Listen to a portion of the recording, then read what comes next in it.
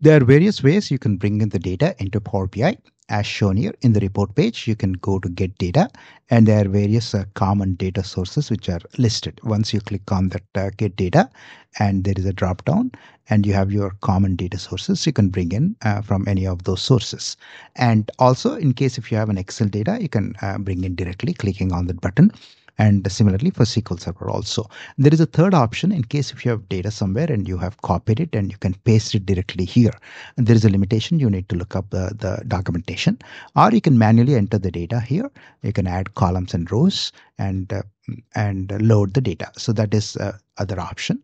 And finally, um, there is also a way you can bring in a sample data, which is provided by Power BI.